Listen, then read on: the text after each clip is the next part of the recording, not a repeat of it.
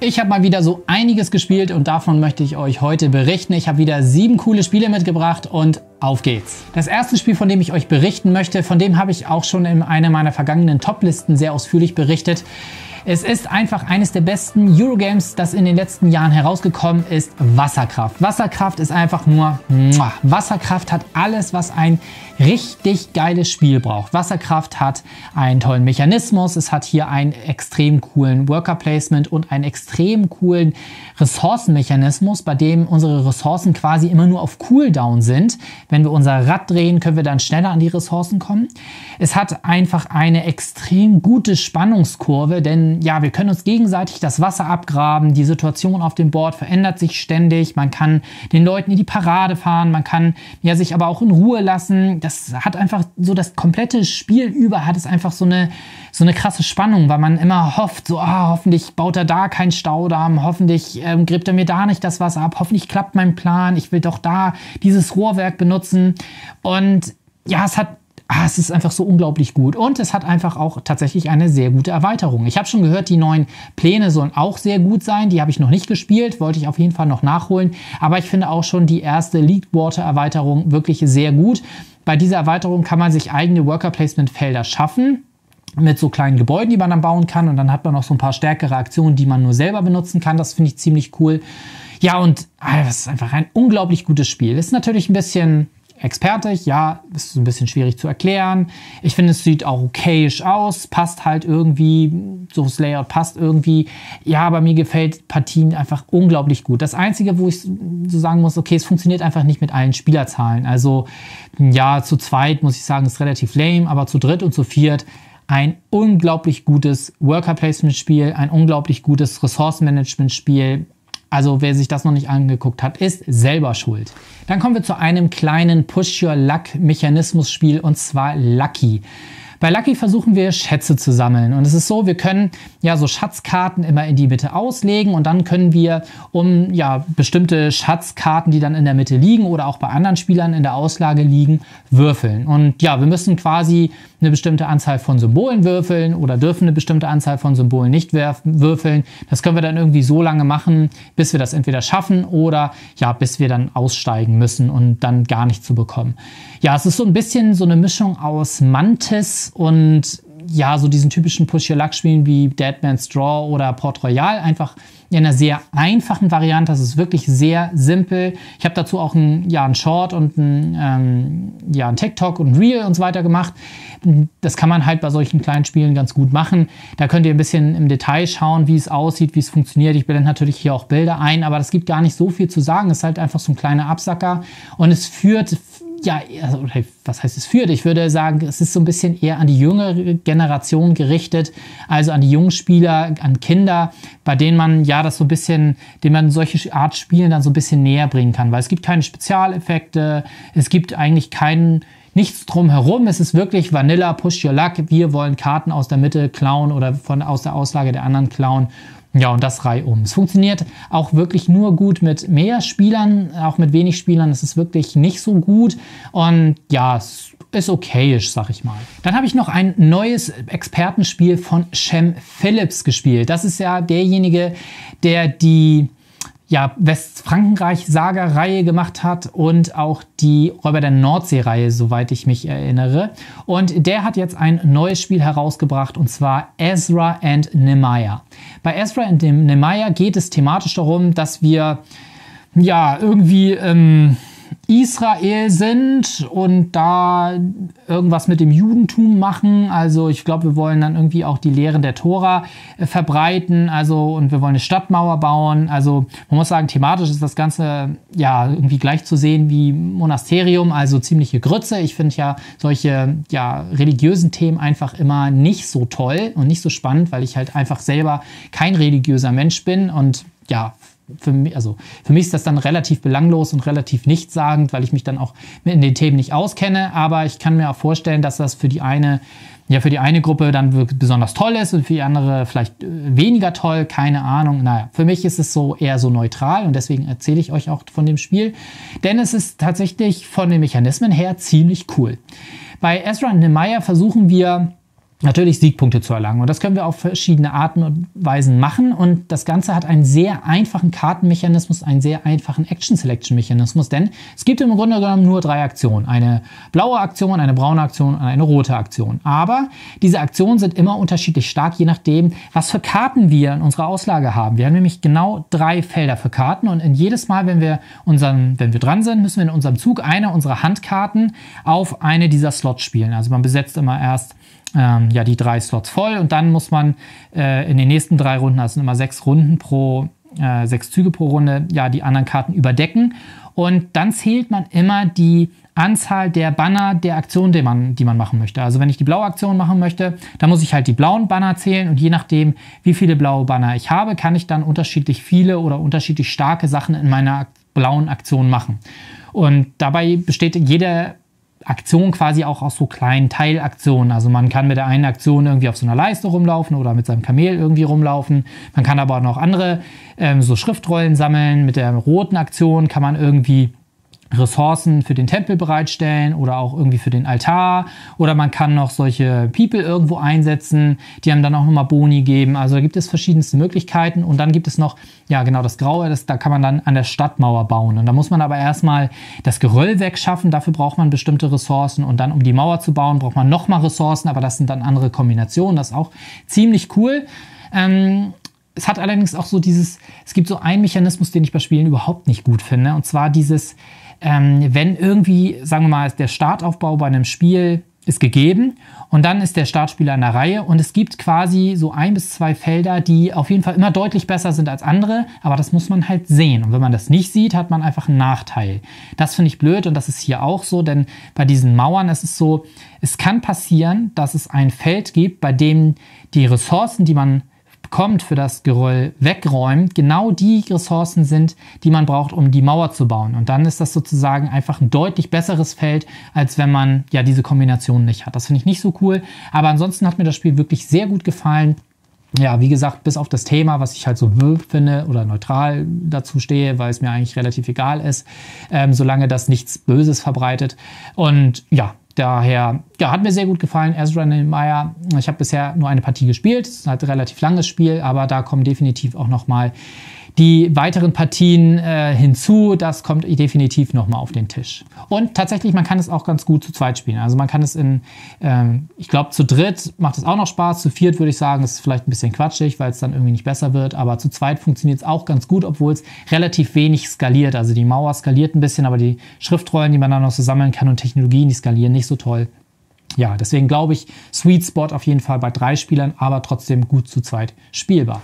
Dann haben wir mal wieder einen Fall Pocket Detective gespielt. Das Spiel liegt schon etwas länger bei mir rum und ja, irgendwie habe ich es nie geschafft, es auszupacken, hatte nie Lust dazu, aber jetzt hatten wir mal wieder Bock auf das Spiel und zwar haben wir den Fall Nummer zwei gefährliche Machenschaften gespielt. Und ja, Pocket Detective ist so ein Spiel, das muss man halt mögen, beziehungsweise man muss halt wissen, worauf man sich einlässt. Bei Pocket Detective ist es so, es gibt eine Rahmenhandlung, es gibt einen Fall und diesen wollen wir im Grunde genommen lösen. Jetzt bei den gefährlichen Machenschaften war es so, jemand ist irgendwie aus dem Fenster gefallen und der war dann irgendwie tot und wir mussten dann schauen, okay, was da passiert, gab es einen Mörder, was ist irgendwie das Motiv etc. pp. Und dann funktioniert es so, man hat Karten und auf diesen Karten stehen dann Dinge oder man kann Dinge auch sehen auf diesen Karten und dann kann man halt immer entscheiden, okay, was möchte ich machen? Oh, ich möchte irgendwie mal in das Zimmer gehen, um mich dort umzugucken. Und dann, je nachdem, was man macht, muss man dann andere Karten aus anderen verschiedenen Stapeln ziehen und diese dann vorlesen und dann hat man wieder weitere Optionen. Also ein bisschen Point-and-Click, ohne dass man aber Rätsel lösen muss, ohne dass man Sachen miteinander kombinieren muss. Aber es ist im Grunde genommen Point-and-Click. Da gibt es noch so einen Zusatz, das ist ganz cool. Es gibt quasi so eine ja, so ein Polizeisterne, wie man das irgendwie ein bisschen aus GTA kennt. Das heißt, ja, da kann man irgendwie sein, sein Level erhöhen und das ist dann irgendwie schlecht, wenn man dann irgendwann eingebuchtet wird und dann verliert man am Ende des Spiels ein paar Punkte, falls man da irgendwie zu viel ja, gemacht hat, was der Polizei nicht gefällt. Und ja, dann löst man so nach und nach den Fall. Irgendwann kann man halt sagen, so, okay, ich glaube, jetzt habe ich genug gesehen. Ich glaube, ich weiß, wie der Fall ist. Ähm, ja, wir können irgendwie auch zur Auflösung gehen. Und dann muss man halt Fragen beantworten, beziehungsweise, ja, man muss immer als erstes eine Frage beantworten, hat man die richtig beantworten, hat man die richtig beantwortet, dann kommt man zur zweiten Frage, hat man die falsch beantwortet, wird, sagt einem das Spiel, ja, nee, mach einfach noch mal weiter. Ich glaube, du hast noch nicht alles gesehen, ähm, du musst noch ein bisschen weiter forschen. Und ja, es war eigentlich ein ganz cooler Fall, hat mir ganz gut gefallen. Aber ich glaube auch, das war damals bei Die Bombe, dem Fall Nummer 1, auch schon so. Teilweise läuft es, und das war hier halt ähnlich, es läuft halt auf eine Karte irgendwie hinaus, die man definitiv gesehen haben muss. Da kommt man dann irgendwie auf zwei Arten hin, aber wenn man da halt nicht hinkommt, dann steht man halt im Dunkeln und bei uns war das auch so, dass wir leider ähm, also man muss immer Karten wegräumen, bei denen man alle Optionen gemacht hat, weil es sonst super unübersichtlich wird. Denn es gibt unfassbar viele Karten im Grunde genommen und auf jeder Karte sind irgendwie mehrere Optionen drauf, die man machen kann. Und wenn man dann immer guckt, okay, was habe ich noch nicht gemacht, was habe ich gemacht, dann wird man ja kirre. Aber wir haben leider eine Karte beiseite gelegt, bei, von der wir eine Option noch nicht gemacht hatten. Und das war genau die Option, die uns hätte vorangebracht, die uns dann zu dieser einen Karte geführt hätte, die super wichtig ist, um ja die ganzen Sachen in den Kontext zu bringen. Das haben wir leider nicht geschafft und deswegen sahen wir auch relativ alt aus, als wir die Auflösung machen wollten. Wir haben es äh, ja auf keinen Fall gelöst nicht ansatzweise, sag ich mal.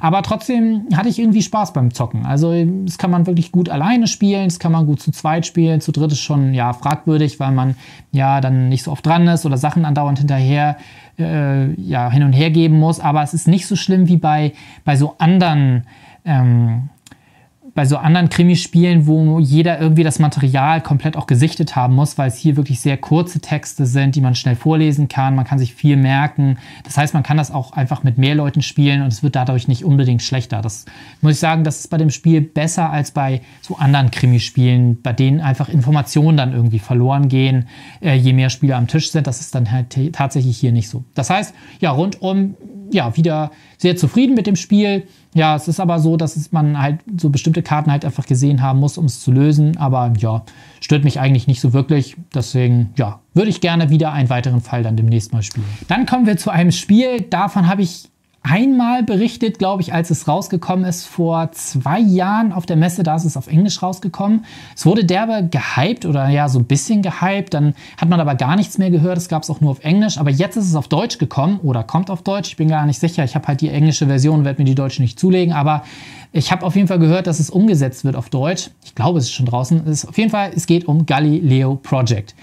Galileo Project ist ein sehr ja, kurzweiliges Spiel, muss man sagen. Mm, es geht darum, dass wir als Gesellschaft ja, die verschiedenen, verschiedenen Monde irgendwie bewohnbar machen wollen und wir wollen auf diese Monde Roboter schicken, die uns helfen, quasi die einzelnen Monde zu terraformen. Diese Monde müsst ihr euch vorstellen, das sind eigentlich im Grunde genommen nur Leisten, die einem unterschiedliche Boni bringen. Und dann ist es so, dass wir immer in unserem Zug entweder einen Menschen kaufen können und dieser Mensch bringt uns entweder eine Sofortfähigkeit irgendwie und ja und halt Ressourcen in Form von Einfluss oder es bringt uns ein, eine Punkt ein Spielendepunkt-Möglichkeit. Also wir können die Karte dann behalten und nicht abwerfen, und, sondern unter unser Board schieben. Oder wir können in unserem Zug einen Roboter kaufen und diesen Roboter müssen wir dann zu einem dieser Planeten schicken und auf diesen Planeten steigen wir dann in diesen Leisten und das schaltet uns weitere Boni frei und ja, so ein bisschen Engine Building, sag ich mal. Oder wir können eine Technologie kaufen und die bringt uns dann auch nochmal was. Und das ist eigentlich relativ einfach. Das Spiel ist zu Ende, wenn wir zehn Roboter gekauft haben, wenn einer von uns zehn Roboter gekauft hat oder der Personenstapel leer ist und dann wird geguckt, wer die meisten Siegpunkte hat. Mit dem, mit dem Roboter bringt Punkte, die, oder diese Planeten bringen Punkte, diese Punktende-Karten bringen Punkte. Das ist relativ simpel. Und dann gibt es aber einen ziemlich coolen Kniff bei dem Spiel, denn es gibt quasi diese Ressource Einfluss. Und Einfluss brauchen wir, um Roboter zu kaufen. Wir brauchen ja ja, Einfluss, um Roboter zu kaufen, im Grunde genommen. Ähm, und das Ding ist aber, es gibt quasi immer blaue Roboter und rote Roboter, beziehungsweise ja, die, auch die Menschen, die haben immer eine blaue Seite und eine rote Seite. Und je nachdem, wo wir auf der Einflussleiste sind, denn die ist so zweigeteilt, können wir nur blaue oder rote Roboter kaufen, beziehungsweise nur blaue oder rote Fähigkeiten von Menschen ja, ausführen. Und wir können aber immer am Anfang unseres Zuges entscheiden, ob wir uns für ein Credit quasi den Wechsel zur anderen Influence-Seite kaufen. Also das, ja, das ist so eine Mars-Influence-Seite und eine Erde-Influence-Seite und die konkurrieren so ein bisschen gegeneinander. Und dann, ja, muss man immer schauen, okay, auf welchem Track gehe ich hoch, auf welcher Seite vom Influence gehe ich hoch oder welche gebe ich jetzt aus und am besten muss ich immer so ausgeben, dass ich auf Null komme, damit ich im nächsten Schritt, wenn ich Influence bekomme, dann wieder aussuchen kann, wohin ich gehe, weil wenn ich auf eins bin, muss ich halt einen Credit zahlen, um wieder auf die andere Seite gehen zu können. Ja, und das ist, das ist ein ziemlich cooler Kniff. Es hat, also mehr Kniff hat das Spiel auch tatsächlich nicht. Und ich weiß gar nicht, in meiner ersten Partie vor zwei Jahren, ist es überhaupt nicht hängen geblieben bei mir, das Spiel. Ich gar nicht, ich fand es gar nicht irgendwie so cool und ich hatte irgendwie nie Lust, es nochmal zu spielen. Jetzt haben wir es halt nochmal gespielt und ich finde es mega. Ich würde es jetzt gerne sofort nochmal spielen, weil es wirklich ein richtig cooles Spiel ist, muss ich sagen. Es dauert auch nicht zu lang, es hat eine richtig entspannte Dauer. Es ist halt so, ja, in so einer Stunde ist das wirklich ähm, runtergespielt. Regeln super einfach zu erklären, weil man halt nur drei Aktionen hat mega. Also ich weiß gar nicht, ähm, ja, das muss ich definitiv nochmal irgendwo ins Regal stellen, wo es ein bisschen sichtbarer ist, wo ich es dann ein bisschen schneller rausziehe. Solltet ihr auf jeden Fall euch mal angucken. Und dann haben wir mal wieder einen richtig großen Klopper gespielt und zwar Age of Innovation. Man muss einfach sagen, Age of Innovation ist das fertige, das super fertige Terra Mystica Spiel. Es ist einfach geiler als Terra Mystica, weil es irgendwie so rund um perfekt ist, habe ich so das Gefühl. Das erste, was halt geil ist bei Age of Innovation, ist die, ja, die, unter, die unzähligen unterschiedlichen Kombinationen von Völkern und Farben und Spezialfähigkeiten, die man ja dort in dem Spiel hat. Alleine das Drafting am Anfang, das ist schon so, also bis man da irgendwie alles gesehen hat und die coolen Kombinationen kennt oder einschätzen kann, was einfach gute Synergien gibt, da vergehen einfach schon mal etliche Partien, muss man sagen. Das heißt, wenn das so, wenn man das so wie ich macht, der das ja vielleicht mal alle halbe Jahr einmal spielt, dann, ja, dann ist das tatsächlich einfach Glück oder Pech, wenn man am Anfang eine coole Kombination zieht oder nicht. Natürlich kann man so ein bisschen die Völker auch einschätzen, welche vielleicht ein bisschen stärker sind als andere oder welche ein bisschen einfacher zu spielen sind als andere. Aber im Grunde genommen ist es Glück oder Pech, ob man da eine richtig coole Kombination gezogen hat. Ja, finde ich aber nicht so schlimm. Mir hat die Partie mittelmäßig Spaß gebracht tatsächlich, ähm, weil wir hatten in der Runde sehr viel Downtime, muss man sagen. Also es wurde sehr lange nachgedacht, es wurden immer ja auch andauernd wieder Züge, kurz bevor sie eigentlich durchgeführt worden sind, wieder zurückgenommen, weil irgendwie doch was Besseres gefunden wurde, während man seinen Zug gemacht hat. Das hat schon ein bisschen genervt und ich habe dann auch tatsächlich einfach immer nur ein bisschen geguckt, dass die Leute mal irgendwie ein bisschen hinne machen, habe mich gar nicht so richtig um mein Spiel gekümmert. Dementsprechend schlecht habe ich auch gespielt, wobei man auch sagen muss, ich kann das Spiel sowieso nicht so gut und dann ist auch okay. Aber ja, deswegen hat es mir so mittelmäßig Spaß gemacht. Aber dieses Spiel ist grandios. Es ist wirklich ein grandios, ich würde sagen, auch ist eines der besten Euros, eines der besten Expertenspiele, die ich kenne. Alleine was diese Vielfalt an den Kombinationen, dann diese neutralen Gebäude, die bei Age of Innovation noch hinzukommen, die sind auch richtig cool. Dann gibt es ja diese, diese Erfindungen, die man noch haben kann ah, es ist einfach geil. Und es skaliert ja auch dann mit der unterschiedlichen Spielerzahl. Also es gibt zwei Seiten beim Board, also die Karte kann ein bisschen größer oder ein bisschen kleiner sein. Unglaublich cool. Es ist ein unglaublich gutes Spiel. Ich habe ja auch eine Regelerklärung dazu gemacht, die tatsächlich auch relativ gut lief, wo das Video auch relativ gut angenommen wurde. Da sind zwar ein paar Fehler drin, aber gut. Ähm, ja, mega, mega Game. Ich liebe es. So, und dann habe ich euch ja versprochen, dass ihr auf jeden Fall noch von Altered hören werdet hier auf meinem Kanal. Altered ist ein TCG, was jetzt herausgekommen ist von Asmodee bzw. Equinox, welches ein paar neue Wege einschlägt. Ja, TCGs ist natürlich ein gefährliches Feld. Ähm, manche lieben sie. Magic kennt ihr ja. Es gibt Star Wars TCGs, ähm, ne, Yu-Gi-Oh! und was es da alles gibt. Pokémon, keine Ahnung, was da noch so aktuell ist. Es gibt ja unendlich viele TCGs, von denen man eigentlich ja quasi nur einen Bruchteil kennt oder von dem ja die meisten nur einen Bruchteil kennen. Und ja, ich bin gespannt, ob Altered sich irgendwie durchsetzen kann. Jetzt auf der Messe wird es natürlich auch sehr präsent sein und da könnt ihr es definitiv auch ausprobieren. Ihr könnt es aber auch bei Boardgame Arena spielen. Dort ist gerade quasi eine Beta online. Dort spiele ich auch regelmäßig, aber ich habe ja auch den Kickstarter geweckt. Das heißt, ich habe auch ein bisschen mit Karten gespielt, Karten in der Hand gehabt. Es geht einfach neue Wege. Das erste ist, wir kämpfen nicht miteinander. Das finde ich eigentlich richtig cool. Denn dieses Standard, oh ja, ich, ich, ich habe irgendwelche Monster in die Mitte oder ich muss irgendwelche Charaktere in die Mitte schieben und dann muss ich die besiegen. So, ne? Lorcana ist natürlich auch mega angesagt. Das kennt man nun halt. Das ist einfach nichts Neues mehr und das ist einfach Standard. So, und jetzt haben wir aber einen neuen Weg. Wir wollen quasi Mehrheiten in verschiedenen Farben schaffen ähm, auf unser Board. Es gibt quasi so Expeditionen, eine mit seinem Helden und eine mit seinem Companion. Und diese Expedition, ja, möchte man mh, mm, ja, vorantreiben. Das heißt, man möchte seinen Hero nach rechts bewegen oder nach links, je nachdem, wo er steht, und den anderen, den Companion, auch bewegen. Und in dem Moment, wo die sich treffen, wo treffen, hat man gewonnen. Und das ist das Ziel. Und wie macht man das? Immer, ja, wenn quasi die Runde abgeschlossen ist, vergleicht man die Werte in den einzelnen Farben. Und auf jeder Karte, auf der der Held oder Companion steht, sind einzelne Farben abgebildet. Es sind nicht immer alle Farben. Und wer da quasi die alleinige Mehrheit dieser Farbe hat, der kann seinen Companion oder Helden bewegen. Das heißt, ja, man bettelt um Mehrheiten in verschiedenen Farben, in den einzelnen Expeditionen.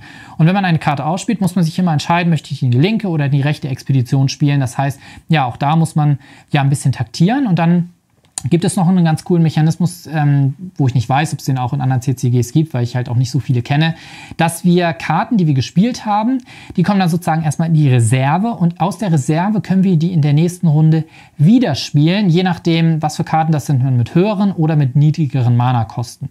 Das finde ich auch ziemlich cool, aber es gibt auch Karten, wo man dann Karten aus der Reserve ablegen kann, entweder beim Gegner oder bei sich. Also es gibt auch dann verschiedene Möglichkeiten.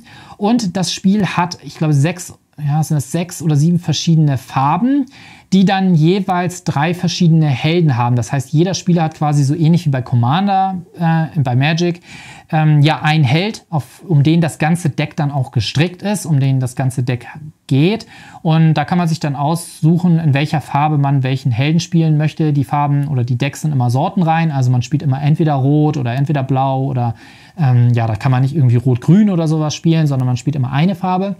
Und man muss sich dann halt immer aussuchen, welchen Helden man spielt. Ich glaube, bei BGA kann man pro Farbe immer nur einen Helden auswählen. Ich glaube, da hat man nicht die Möglichkeit, noch verschiedene Sachen auszuprobieren. Auch, man kann sein Deck auch noch nicht bauen und so. Aber ihr könnt das definitiv da mal ausprobieren.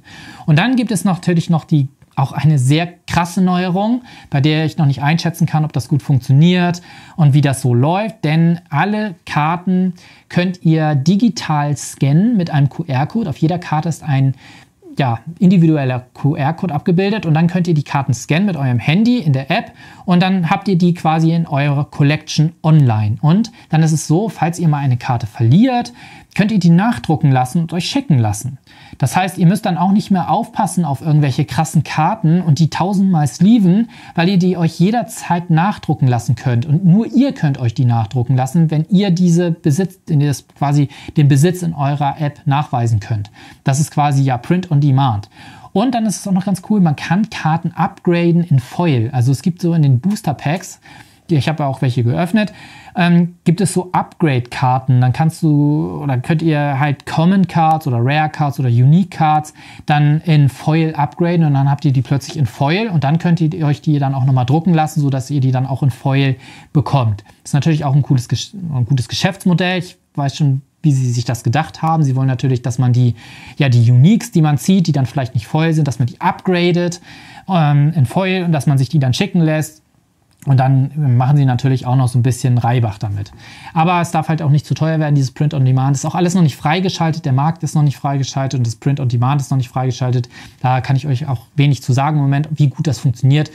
Ja, ich bin sehr gespannt, ähm, ob sich das Ding durchsetzen kann. So ein krasser Hype wie Lokana wird es wahrscheinlich nicht, aber ich hoffe, ja, dass es so ein bisschen mithalten kann, dass es so ein bisschen Lokana Konkurrenz gibt. Ja, die bomben den Markt ja tatsächlich im Moment ziemlich zu mit neuen Karten, mit neuen Episoden, mit neuen Decks, mit neuen Möglichkeiten. Ich habe auch hier gerade noch so ein Starter-Deck oder sowas zu be zugeschickt bekommen, äh, wo man ja so einen Einstieg hat, wo man quasi das Spiel neu lernt. Naja, das hat Altered alles nicht, aber Altered hat eine ziemlich coole Lore, ähm, ja, und eine ziemlich coole Geschichte so drumherum gestrickt. Und ja, das gefällt mir an dem Spiel wirklich ganz gut und vor allen Dingen auch spielerisch macht es wirklich einen sehr guten Eindruck. Das war's mit den sieben Spielen für heute. Heute leider ohne Ranking, denn ich habe tatsächlich, wir stecken mitten im Umzug.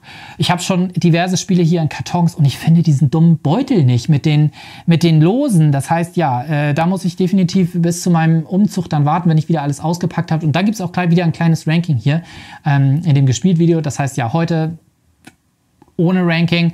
Und ja, ich hoffe, ich konnte euch ein paar coole Spiele zeigen, ein paar Spiele näher bringen. Ihr hattet ein bisschen Spaß beim Schauen. Ich hatte definitiv derbe Spaß beim Videodreh und beim Schneiden. Naja, ein bisschen beim Schneiden auch, aber es ist natürlich viel Arbeit. Und ja, ich würde mich natürlich freuen, wenn ihr die Arbeit, die ich hier mache, auch wertschätzt und ja, überhaupt meine Videos wertschätzt, ähm, das gerne guckt, was ich hier mache und freue mich natürlich über eure Unterstützung dabei in Form von Abonnenten, in Form von Daumen hoch, in Form von Comments, in Form von Feedback. Ähm, ich freue mich über alles, was ich von euch sozusagen zurückbekomme und ja, ich hoffe, das Video hat euch gefallen, also ja, gebt mir gerne einen Daumen hoch, lasst auf jeden Fall ein Abo da und wenn ihr jetzt noch ein bisschen Zeit habt, ein Video zu gucken, dann habe ich hier zwei Vorschläge für euch. Hier oben ein, eine kleine Rezension zu Chronologic mit Regelerklärung, ein sehr cooles Deduktionsspiel und hier unten ein Video, was der YouTube-Algorithmus euch vorschlägt. Vielleicht ist da was dabei und ansonsten würde ich mich freuen, wenn wir uns im nächsten Video wiedersehen. Bis dahin sage ich ciao, ciao.